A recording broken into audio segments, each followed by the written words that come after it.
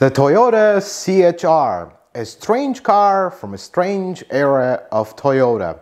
Many journalists describe it as a bad car, a horrible car, but is it really that bad?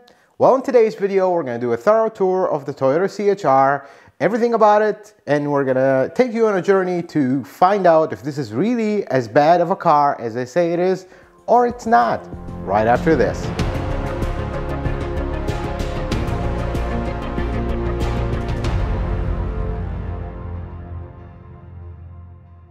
Let's look at the powertrain options of the CHR. Now, the thing is, in the US, we only had one engine and one transmission for the CHR. Everywhere else, we had many different options. In the US, we have the 3ZR FAE engine, 2.0 liter, four cylinder. This engine is actually not used in any other model sold in the US. This is the only car that uses it other markets, they do use it in other models. The transmission is a CVT transmission, the K114. It's also kind of a unique transmission, not really used in other models, very similar to the K313, which was used in many models in the US, like the Corolla from 14 and up. Other markets got many different engines for the CHR, and the CHR seems to be more focused for other markets. We just had it for just as a test. We'll get to that in a little bit down, down the road in the video. But other markets had the 1.2 liter 8NR turbo engine, four cylinder. They also had the M20A engine, which is the same as the Corolla Cross. They had a hybrid variant on the transmission side. They had a manual transmission. They had an eCVT. They had the new CVT with the first gear. There's even an EV variant of the CHR in China. But we never got any of that in the US. We just have one engine, one transmission, no all-wheel drive, because other markets in the world also got the all-wheel drive. We never did. So uh, interesting choice there. This powertrain is actually pretty simple, pretty similar to other models because the 2.0 liter engine is very similar to the 1.8 which is used in the CHR and other models, but not in the US. But that same 1.8 2ZR engine is used in many other models in the US, and this is very, very similar to it. Same thing with the transmission. Same thing actually with the whole layout of the car. You lift this car up in the air, look underneath it. It looks very similar to most Toyota models, nothing really eh, special or specific to the CHR. Let's look at the exterior of the Toyota CHR, but before we do that, if I would describe the CHR in one word, it would be strange. And that strangeness comes from the fact that this was supposed to be a Scion, believe it or not. It was designed, made, and it was ready to go as a Scion model, but then Scion decided to uh, depart us and this model just stayed in the air and they decided just to badge it as a Toyota and here we go. That's why the first year actually didn't have many options, didn't have many trims, just like many Scion models. Strange is the name of the game when it comes to Scions. But looking at the outside of the CHR, it is such a small crossover, SUV, whatever you want to call it. I'm going to call it a car throughout the review. For such a small car, it has so much going on in the design. It is very interesting actually. Starting from the front, you have these bulging arches and then we go in the back and things get really strange in the back. You have that big arch that is integrated in this body line that goes all the way from here all the way to the top and then the tail light create like a channel that goes to the back. There's a lot going on in the design of the outside for such a small car. And of course, the CHR, the general design language of the CHR is, it is like a crossover with a coupe look. That seems to be the fashion with some manufacturers, and this is very clear. The first time you lay eyes on the CHR, you would think it's a coupe, it only has two doors. The back of the CHR has such an interesting design. It's a very large panel on a tiny window, and it swoops up like that, and there's just too much going on with the design of the back door for something so small. Everything is extremely strange with the design and over the top. It almost feels like they spent more time on the design than anything else because for such a conservative company like Toyota, this is a pretty wild design. I mean, you look at places like just past the back door, there's this crease in the body that it's to make it very difficult to repair, but it was so intentional. Typically, Toyota will make cars that are simple to manufacture, simple to repair, simple to put together.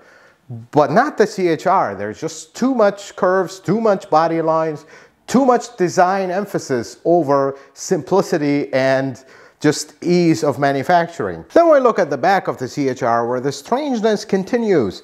Because of that coupe shape, the door handle is right here all the way up high. And then we have the triple spoiler because one spoiler was not enough. We needed three. There's the big spoiler here with openings through it. That's okay. This is, uh, we can live with that. But then there is a little mini spoiler here. And then if you really look close, there's actually a spoiler design built into the body. So the CHR has three spoilers because one is just not good enough. I don't know who uh, inspired that design.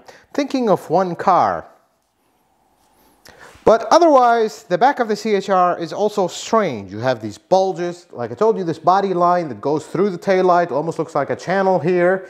And then there's another bulge here, and then the bumper comes out. There's just too much going on in the design, but it does give it a character. It's something different, a departure from your Typical, sensible, conservative car designs. Let's take a look at the interior where the strangeness goes into overdrive. First is the materials. Some of the materials and the things used in the CHR are actually unique to the CHR, at least from my experience looking at every single Toyota model every single day. First is the steering wheel. It's a one-off steering wheel with an interesting touch of piano black trim on it. That's a pretty cool looking steering wheel, not really found in any other Toyota model. The second thing is the gauges, specifically the needles and the color configuration. Not really found in any other Toyota model sold in the US. It's unique to the CHR. Then there is the material on top of the dash. It's a pretty soft, interesting looking material that you will not find in other Toyota models. Behind it is the typical material you will find in other Toyota models, but not the front part. It's a very soft, almost leather-like, it's not leather, but it's leather-like material, which is pretty cool. Then we move on to the next strange thing, which is uh, the theme of the CHR, the diamond shapes. There is more diamond shapes here. It almost feels like an obsession with the diamond shape in the CHR. First, you have on the headliner, you have a bunch of diamond shape drops or whatever you want to call them. They're all over the, the headliner. But then you look closer and the HVAC buttons have the diamond shape. The steering wheel controls have the diamond shape. And then you start looking closer and closer. The buttons and the overhead console have a diamond shape. And then you look at the HVAC vents on the on the si either side of the dash. They have a diamond shape. And then even the door sills, even the little microphone hole that, that is in the overhead console, that also has a diamond shape. I guess uh, that is a theme that carries out through the CHR of the diamond shape. It's also on the seats, it's also on the door panels, on the speakers, it's everywhere. Everywhere you look, there is diamond shapes. And then the whole shape of the dash. It is facing the driver in a way that reminds me of the old Supra. But there's a giant bulge right here that kind of makes the passenger room cramped because all the dash comes out here to make everything turn toward the driver. It is a little bit unnecessary, but that's just the design theme, is where you look at this car and think, they prioritize design over function almost in this car, both exterior and interior. And of course, the last but not least, something that you will use every single day that is different than other Toyota model. The shifter. The knob itself is different than other Toyota models. Moving on to the back of the CHR, space is okay, but it's not the greatest. Again, because of that slope of the roof, the space is a little bit cut. If this was a straight, kind of like a 90 degree turn like most SUVs, it would have a lot more room. But because it's almost like a hatchback design where the, the back door is sloped this way, it robs some of your space. The back seats fold. It's a decent space, not the biggest space in the world, but again, this is a compact or subcompact. And the strangeness here continues with, with, accessories even. The cargo net is a pretty interesting uh, orientation, not your typical cargo net that stands here. It actually lays down on the floor of the, of the back. Underneath this is actually a spare tire, a compact spare tire, which is something interesting to see in such a small car and a very welcome thing. Let's talk about some things I don't actually like about the CHR, starting with the biggest one. There's no all-wheel drive model. Folks, this is a crossover and all its competitors have all-wheel drive options. And the worst thing is, there is an all-wheel drive CHR in other markets, but in the US, we don't have it. And that's kind of takes the advantage out of the CHR. And the other thing is, some of the design elements of the CHR interferes with its day-to-day -day functionality. Things like the massive blind spot because of that sloped back design. It robs from your blind spot. You look in the back, it's really hard to see out of. The other thing is the back door handle. Tested this with my eight-year-old. She walked up to the car. First, she didn't even know where the door handle was, which is fine. That's just the first time. But then she had a very hard time reaching it and opening it. So if you have little kids and you're finally happy that they are independent, they can open their own door, sit down, close the door, they're gonna have a hard time with that high handle. I wish the handle was just in a normal spot. And if you are a car guy or a person with a heavy foot, this thing will disappoint you. It is slow, but you know what? For its intended purpose, it is not hopelessly slow. It's just slower than your average crossover, I suppose. And we're not even going to talk about 0 to 60 times. And if these are concerns of yours, you should not be looking at many models of this segment because they're all slow. That's just the way it is. And then there is the drive. Driving the CHR, it's okay. It's a little bit on the slow side, but it's very loud. Insulation wise, road noise wise, and engine wise.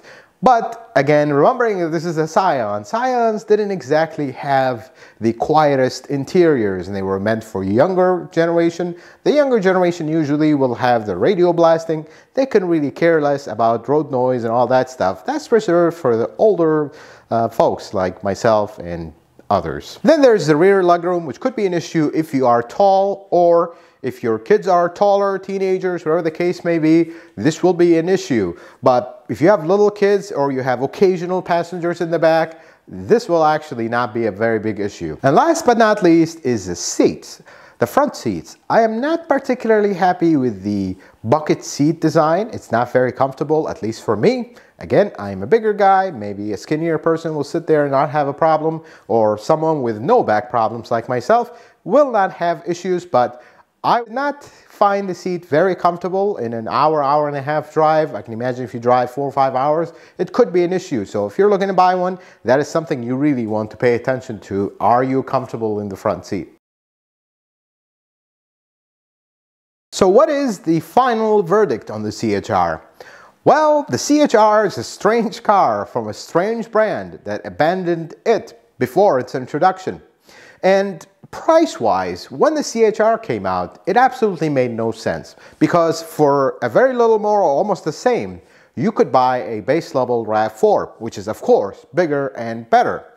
But as time progresses and as the RAV4 price rises and the CHR remains relatively similar, it actually starts to make sense. And in the market of the crossover and SUV craze, this is starting slowly to make more sense. And to answer the question that we started this video with, is this car as bad as some journalists say it is? Or is it actually not as bad? Well, this is when the typical review stops and I come in. My name is Ahmed. I work on these cars every single day. I have a career as a Toyota technician. Let me share with you the reality of the CHR. Everything else you like the legroom, you like the design, is it fast, is it slow? That is entirely up to you. Everybody has an opinion about that. But when it comes to reliability, the CHR is actually an absolute hidden gem. And most people will say, well, wait a second, all Toyotas are generally reliable. So yeah, of course it's reliable. But actually I'm talking compared to other Toyota models. Typically when a new model comes out, you'll have a few issues here and there. Some of them are little, some of them are big, typically taken care of and life is great. But the CHR, when it came out, and I remember this one very clearly because I had the first one that came to the dealership. I did the pre-delivery service and I looked at it. It was made in Turkey. That was a concern. We're having a car that was made somewhere else. Maybe we're going to have big problems. But to date, as of the date of filming this video, there's not really many common problems, if any, that I can remember. Not really. The CHR is actually a standout of reliability. I would put it up there with the 4Runner, with the FJ Cruiser, with the Land Cruiser even. there is absolutely no issues with the CHR. For a strange transmission option and a strange engine that doesn't really isn't really shared with other models, it's a standout in reliability. There is absolutely no issues that I can think of with the CHR, and that is where it's a hidden gem. The CHR has a character. It definitely does. It has many flaws as well, but it does have a character. It's a good looking car in my opinion. I see the CHR make more sense for a younger buyer, a family without kids yet, or even a family with very young kids. It makes sense. It's a very good car because it's very reliable. It does have a little bit of a different look, kind of excites your emotions when you look at it, but it does not make a compromise on reliability. It is actually an absolute hidden gem when it comes to reliability. It is a simple car not really hard to operate or confusing. Everything is laid out very simply. Drives okay, will last you many, many years. And, and from experience, I see people who own CHRs, they actually love them. People who buy the CHR for the wrong reasons, they're gonna trade them in very fast because you're either, this is the kind of car where you're either gonna love it or really not love it. There is no in between with this car. And people who bought it for the right reasons, which are, this is a sensible car, this is a very reliable car that looks a little bit different, stands out, looks, the words I would use for how it looks is funky, cute, different. That's, this is the clientele for the CHR. And the sales of the CHR have been a little bit on the rise.